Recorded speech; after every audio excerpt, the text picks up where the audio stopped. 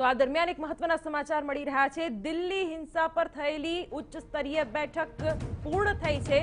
દિલ્હીમાં આ બેઠકમાં દિલ્હી હિંસાને લઈને ચર્ચા થઈ ગૃહપ્રધાન અમિત શાહના નિવાસસ્થાને આ બેઠક પૂર્ણ થઈ છે અને આશરે અઢી કલાક સુધી આ બેઠકમાં ચર્ચા થઈ દિલ્હીની પરિસ્થિતિ વિશે દિલ્હીમાં હિંસાને લઈને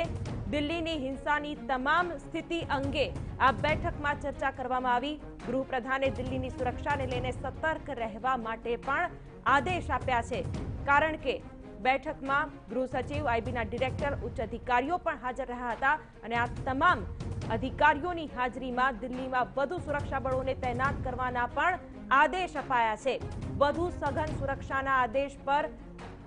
અમલ પણ શરૂ કરાયો છે અને દિલ્હીમાં આ બેઠકમાં મહત્વપૂર્ણ નિર્ણય લેવાયો છે.